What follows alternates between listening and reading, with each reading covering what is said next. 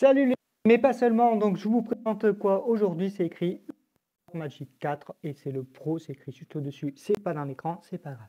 Qu'est-ce qu'on trouve dans la boîte tout de suite? On trouve un petit pin, une coque souple, un chargeur énorme de 100 watts, son câble qui va avec, il risque de fondre, et bien entendu le smartphone qui est d'une toute beauté. Petit tour du propriétaire, donc vous voyez en face avant, nous avons un écran avec l'empreinte digitale sous le pouce, ça tombe bien, deux capteurs vidéo. Sur le côté droit, nous avons le bouton power et les boutons de volume. Sur la face arrière, nous avons deux 50 mégapixels, un 64 mégapixels, un macro et une LED. Et sur ce côté, nous n'avons pas grand-chose, ce qui ressemble à une LED, mais je ne sais pas ce que c'est. Sur la face au-dessus, nous avons une prise micro, un haut-parleur et des petites séparations. Donc l'antenne est sur le côté. Sur l'arrière, nous avons la trappe pour les cartes SIM nano SIM, une prise micro, un USB-C et un haut-parleur. Voilà, on est complet et vous voyez déjà que l'affichage il est juste monstrueux. Il va jusqu'à 120 Hz. Côté dimension, nous avons 9 mm d'épaisseur, ce qui fait 74,7 de largeur pardon, et 160 mm. La résolution de l'écran, c'est 1312 par 2848 pixels, c'est un 6,8 pouces. L'aspect ratio, c'est quasiment du 29e. C'est un OLED, ça se voit bien parce que franchement, l'affichage, il n'y a pas de problème. En CPU, nous avons un Snapdragon génération 1 et un GPU, un Adreno 730. Je refais, c'est un Adreno 730. Donc, on a franchement de quoi faire venir. Niveau interface, c'est euh, Magic UI 6.0 sous Android 12. Pour la RAM, il y a 8 Go de RAM et 256 Go de RAM pour cette version qu'on présente en Pro. Alors, on passe à la photo. Donc, euh, on a les classiques photo, portrait, vidéo, cliché nocturne, ouverture. Alors, ça, c'est pas classique et c'est pas mal. Vous réglez la focale. Donc, voilà.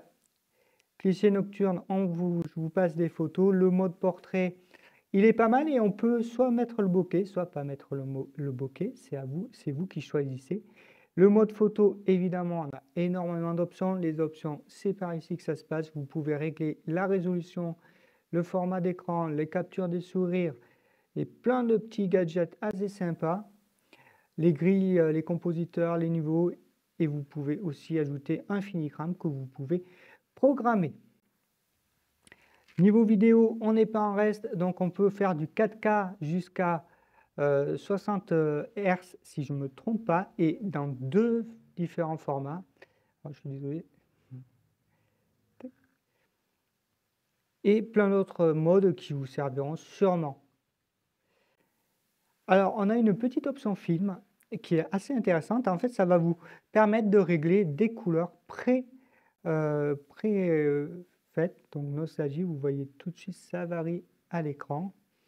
Et le mode, le mode pro, où vous pouvez régler absolument tout ce que vous voulez, autofocus, l'ISO, euh, la, visée, suivant que, ce que vous voulez, la balance des blancs, qui est assez intéressante. C'est vous qui voyez. Et enfin, le mode plus, donc vous avez le mode super macro, les timelapse, les Storia. Alors Storia, pareil, c'est vous pouvez créer des, des rythmes. On peut scanner des documents, on peut mettre des filigrammes, on peut faire du ralenti. Voilà, donc un mode photo très complet, j'en pense. Euh, franchement, euh, bien. Peut-être euh, le zoom x100. Alors ça, par contre, je ne suis pas hyper satisfait du zoom x100. Ça bave un peu, je vous montre des images actuellement. Et je pense qu'on a fait le tour de la vidéo. Lorsqu'on est en mode zoom, il y a une petite fenêtre de prévisualisation qui s'affiche. Alors le mode macro a le mérite d'exister, mais franchement, je ne suis pas sûr qu'on l'utilise beaucoup. Le mode RAW, lui, est exploitable car il renvoie euh, l'image pixelée. Il existe deux modes de RAW, un pixelé, un JPEG euh, spécial.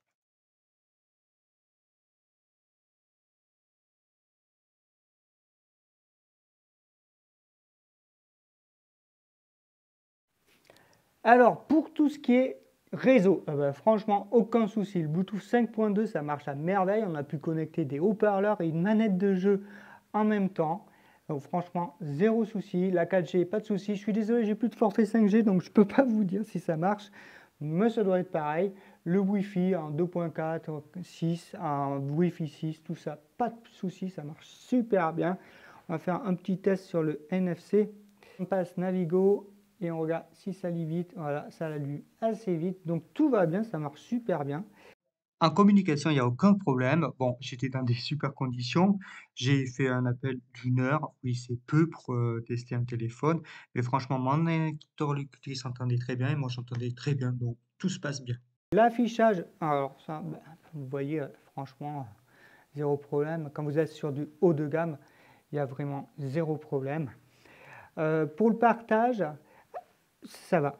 Alors l'interface, eh bien l'interface est pas mal parce qu'on n'a pas un milliard de logiciels que vous ne voulez pas. Il vous propose par défaut Netflix Booking et vous pouvez tout désinstaller. Euh, Prime Disney, tout le reste, c'est moi qui l'ai ajouté, ajouté. Donc il y a l'essentiel. Donc franchement, top. Alors par contre, Magic UI, il faut vraiment apprendre à s'en servir. Et moi, je vais vous dire, j'ai eu un peu de mal parce que je viens de Xiaomi, pas vous le cacher. Donc après, on s'y habitue à, tous ces petits gestes. Vous voyez, il n'y a pas de petit menu en bas, les boutons ne sont pas là. C'est un peu perturbant au début, mais après vous verrez, ça se, ça se passe à merveille. Les petits manques que je trouve, euh, c'est qu'il n'y a pas de Chromecast. Ils ont choisi Miracast, mais c'est pas grave parce que via cette prise, vous pouvez vous connecter en HDMI si par hasard vous avez un adaptateur. Donc moi, ce que j'ai fait, c'est que j'ai connecté un moniteur. On peut connecter tout ce que vous voulez, une télé, euh, enfin c'est du HDMI, ça reste et vous connectez une manette et vous pouvez jouer à des jeux super sympas comme on le voit à l'écran. Visionner des vidéos, alors vraiment c'est zéro souci, c'est hyper fluide, vous pouvez aller en 4K si ça vous amuse, mais bon sur un écran de cette taille là c'est peut-être pas nécessaire. Euh, niveau son, alors niveau son c'est euh, assez partagé, c'est bien hein, mais il euh, faudra mieux connecter des enceintes Bluetooth ou, des écouteurs, après le son il est super bien. Donc on nous a promis du IMAX Enchanted, DTX6. Bon, ben ça marche super bien. Vous allez sur Disney+, vous avez ces options. Et donc c'est bien. Vous pouvez regarder des films. Voilà, moi, le seul truc qui me manque un tout petit peu, c'est cette histoire euh, de Chromecast. Alors l'autonomie, outre le fait qu'il charge hyper rapidement, en 38 minutes de 0% à 100%, je crois que le plus bas que j'ai fait c'était 2% dans une journée normale, ou enfin non pas normale justement, où j'ai fait beaucoup de jeux, beaucoup. Donc pour un bon père de famille, vous tiendrez largement une journée, voire deux, et en plus il charge hyper vite, en un quart d'heure vous allez récupérer 60% d'autonomie. Donc l'autonomie c'est zéro souci, vraiment top. Alors, le tactile, eh bien, le tactile ne pose pas de problème. Ça, c'est super bien. Est-ce qu'il chauffe? Franchement, ça dépend. Quand on fait beaucoup de jeux, il peut chauffer un tout petit peu, mais vous le tiendrez toujours. Donc, on ne va pas dire qu'il chauffe énormément. C'est plutôt bien. Est-ce qu'il glisse? Alors, sans sa coque, moi, je vous conseille de prendre la coque. Après, il prend super bien les traces, et ça, c'est dommage pour un, téléphone.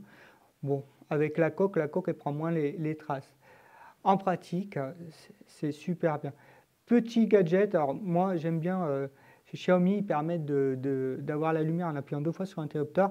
Là, vous, vous relevez quand il est comme ça et vous allumez la petite lumière. Vous pouvez prendre des notes euh, sonores, la calculatrice et prendre des photos en retardement. Alors, niveau positionnement GPS, il n'y a pas de souci. Je vous ai fait passer mon petit test du côté de Palais Royal où certains GPS se trompent de rue. Là, il n'y a pas eu de souci, on était extrêmement bien positionnés. Tu te demandes peut-être quelle est la différence entre haut de gamme et, pas haut de gamme, qu'est-ce qui quelles sont les différences entre les différents Magic 4 Pro? Alors, c'est essentiellement le matériel qui est embarqué. Donc, le processeur, les appareils photo. Sur le Magic Pro, il y a un capteur TOF pour savoir que c'est une vraie personne. Mais la vraie différence, c'est au niveau de la ROM. La ROM, elle est beaucoup plus rapide. Quand tu installes un jeu ou n'importe quoi, ça va beaucoup, beaucoup plus vite, même quand tu le charges. Alors, petite originalité, c'est le clavier. C'est un clavier Microsoft. Et je ne sais pas pourquoi ils ont fait ça. Avant que j'oublie, c'est un prêt d'agence, donc je ne pourrai pas forcément répondre à toutes les questions, puisque je ne l'aurai plus après. Mais je peux toujours poser des questions à l'agence de com. En conclusion, bah, la conclusion est simple. Vous avez un super euh, téléphone, appareil photo avec un écran de la mort, un gros processeur qui fera passer tous les jeux quasiment en, super définition. Vous pouvez connecter des manèges, vous pouvez le connecter en HDMI ou via Miracast. Vous pouvez lui brancher euh, plein d'outils euh, Bluetooth en même temps et ça ne lui fait pas peur. Alors plein, c'est euh, un clavier, une souris, des écouteurs. Tout passe. Franchement, j'ai eu zéro souci. Seul petit reproche, c'est qu'il n'y a pas un Chromecast intégré, mais un Miracast. Petit dommage. En photo, très bien. Il s'en sort très bien en journée. En nuit, euh, peut mieux faire, mais je pense qu'une correction logicielle peut corriger le, problème. Le zoom x100, c'est un argument de vente. Euh, moi, je ne l'ai pas trouvé hyper efficient. C'est comme vous voulez, mais ce n'est pas sur ça que vous le jugerez. Après, il a plein de capteurs, que ce soit grand angle ou, euh, ou macro, bah, ça sert, ça sert. Vraiment, c'est un super outil. Vous le branchez à un écran HDMI, ça devient un mini PC. voilà, moi j'aime bien et je m'en cache pas.